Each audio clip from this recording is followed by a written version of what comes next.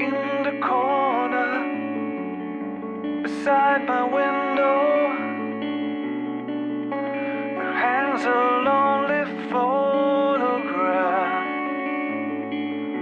There is no reason I'd never notice.